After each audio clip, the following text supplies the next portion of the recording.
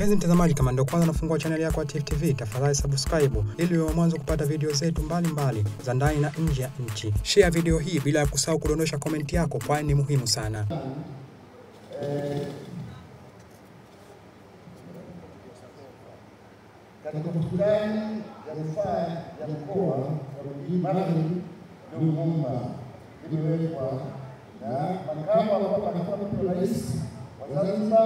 Mheshimiwa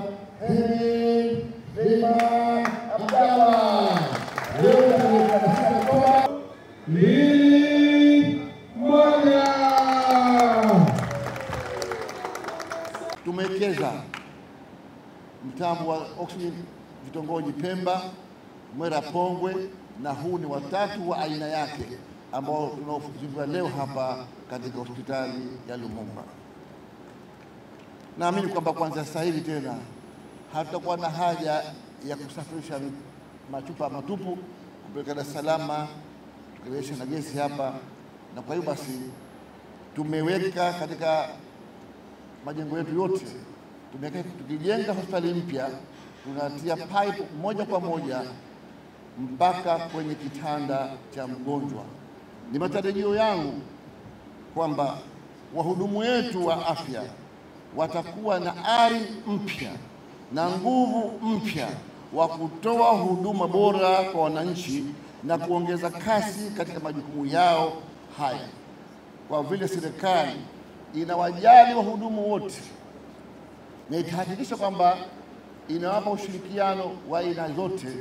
Kwa hivyo naamini kwamba itakuwa ni chachu kwa wafanyakazi wa afya kufanya kazi kwa moyo mkunjufu na kufanya kazi kwa imani kubwa sana kwa wagonjwa wetu. Aidha, ni jambo la faraja pia kuona huduma hizi itazalishwa na kusambazwa katika hospitali mbalimbali za serikali na binafsi ili kuhakikisha wananchi wanapata matibabu bora na ya kisasa zaidi. Juhudi hii ya serikali inafanya vituo hivi vya mitambo ya kuzalisha hewa tiba kufikia vinne, ikiwemo kilichojengwa katika hospitali ya rufaa ya Mnazi Mmoja na hospitali ya wilaya ya Mwera Pongwe kwa Unguja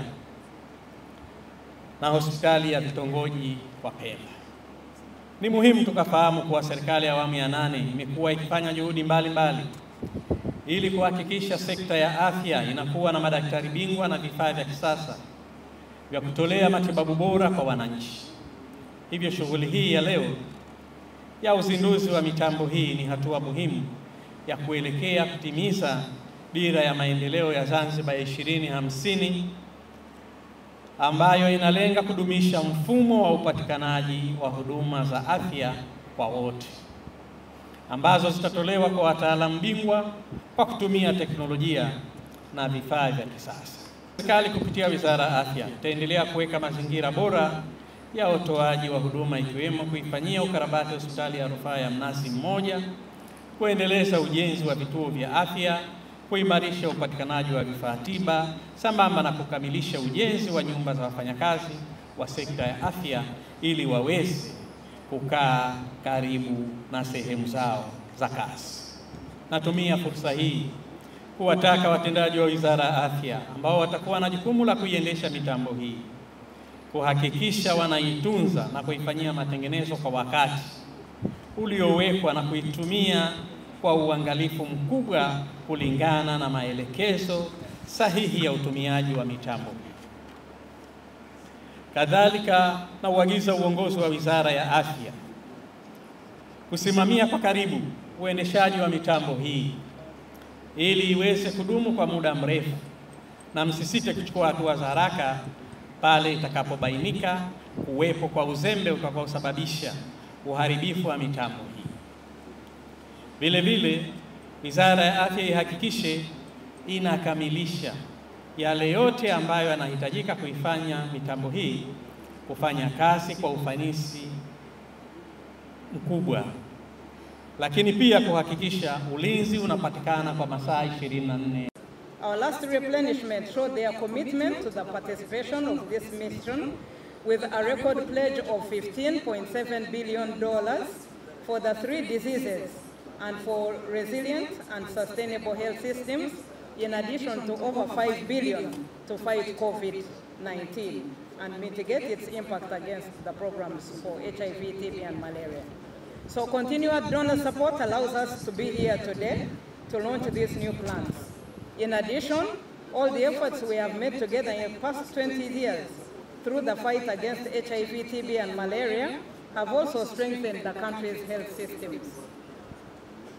So we are opening here the plans today uh, through the Global Fund's COVID-19 response mechanism. And with 5.3 million for the national COVID response and pandemic preparedness, Zanzibar is acquiring oxygen equipment, mobile X-ray service vans for active case finding, uh, digital X-rays, gene expert cartridges, and activities to reinforce laboratory capacity and surveillance systems. Tifu TV inakupatia video mbalimbali kutoka ndani na nje ya nchi. Tafadhali endelea kutufuatilia kupitia chaneli yetu ya Tifu TV, YouTube, Facebook, Twitter na Instagram, bila kusahau kudondosha komenti yako, kwani ni muhimu sana. Tifu TV tupo kijamii zaidi.